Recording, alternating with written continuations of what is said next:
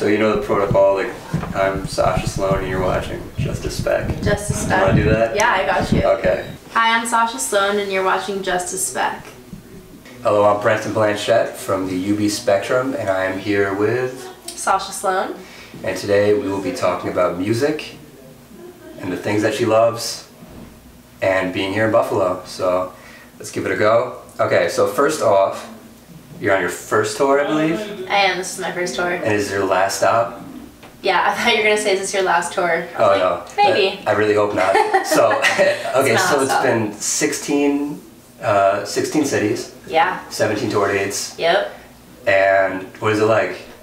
You know, it's really interesting because I'm a songwriter first. Yeah, So I didn't really expect, I didn't know what to expect coming on tour. yeah, And um, I'm on a tour bus, which is really weird, sleeping on a bus and Yeah. having absolutely no personal space. Lots of downtime, but uh, it's really cool performing songs I've written for myself live because I've never gotten to do that. yeah. And uh, seeing how like different cities react, and yeah, it's been cool. And I know you'll be performing your own stuff here, but I wanted to bring up a question. Uh, you've written for like some of my favorite pop stars, uh, Camila, Tinashe, and I wanted to ask you, uh, when you're like writing these songs, like what's the difference between something you'd write for yourself and then somebody else? Mm. This is really corny, but I think it's just a feeling. Yeah, Like when I write something, I just instantly know it's for me because it makes me feel something. yeah, For other people, it it makes me feel something but in a different way. Um, and usually everything I write for myself is super personal. yeah, And um, usually when I write other songs for um, other artists, it's personal for them and not me, yeah.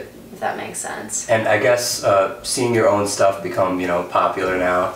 Uh, you have three million, three, three million monthly streamers on Spotify, as well as eight million streams on Ready Yet, Yeah, and oh then my god, seven you know your facts. Dude, I, I did my research.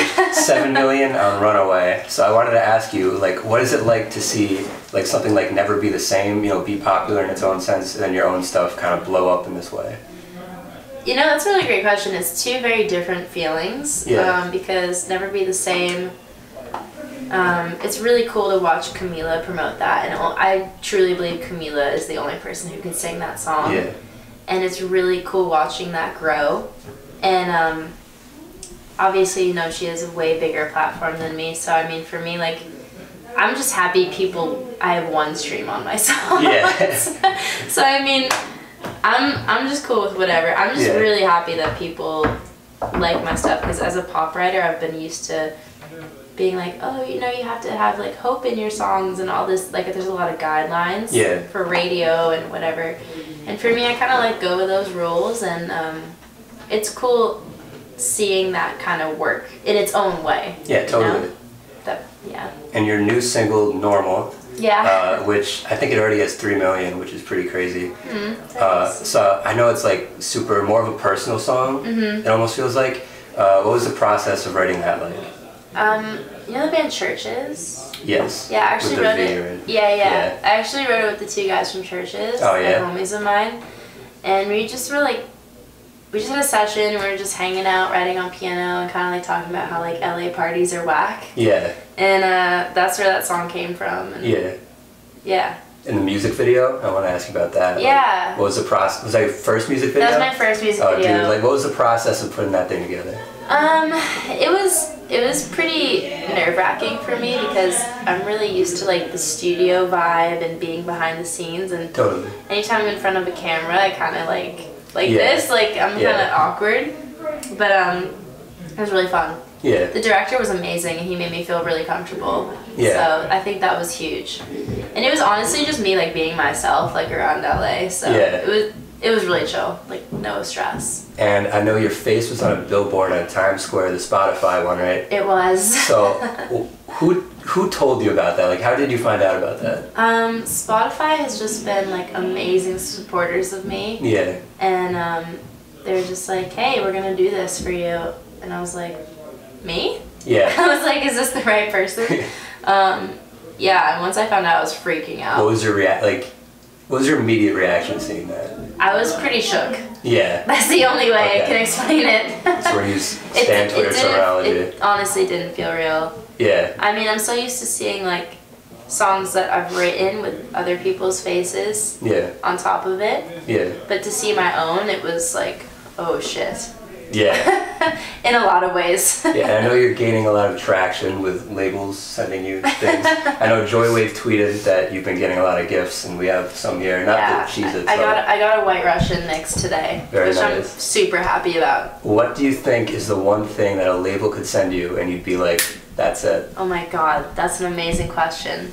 Labels keep your eye out. Honestly, I think a trampoline. Really? Yeah, Okay. trampoline would be fire. I've always How, wanted how will one. that be shipped to you on tour? That's a question. They're just gonna have to figure that out. Okay. You know, that's up to them. Okay. They really want it. All right. And uh, you have a new track in two weeks. What should we expect Yeah. from that one? Um, I'm releasing two new songs on March 16th. Yeah. And um, yeah, one is super emo. Yeah. It's just guitar and vocoder. And the other one is a little more upbeat. And kind of has a drop, which is new for me. Um, most of my stuff has been like relatively organic, Yeah. um, with some electronic elements here and there. But um, yeah, one of them's actually not totally sad this time. One of Okay. them's like kind of bittersweet, So like normal Happy. Girl Sloan is. It's about like one of them's about being scared to fall in love, Okay. Which Oh. is it's on the it's on the up for me. Happiness. Okay, dope. and I know your last with normal, you had another single with it. So do you feel like two at once is like the way to go for you? Yeah, you know, I just have so many songs Yeah. that I, I might as well just keep releasing content. And honestly, like, you never know what's gonna react. Yeah. Like, I think people behind the scenes kind of think, and you, you're like, oh, well, this one's upbeat, like, maybe people will love this one.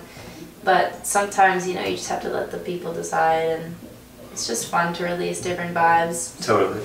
And the people are loving you so far. And I wanted to ask you. Uh, it's my bold prediction that you're going to be huge pretty soon. So I wanted to ask you, Thanks. at the end of the day, what message do you want people to take away from your music? I think for me, it's like it's okay to feel like a weirdo, and it's okay to be sad and have feelings, and um, just be human. Yeah. I feel like a lot of pop music is. I listen to it when I work out, Yeah. and it's really fun and kind of dumb. but- Motivating. yeah, but for me, the music that I grew up listening to is always really real and emotional. And for me, I think as long as it's coming from a real place for me, like I hope people can always connect to it. Totally. All right. Well, thank you so much for your time. I Yeah, really thank you. appreciate It was it. so nice meeting you. All right. Yes.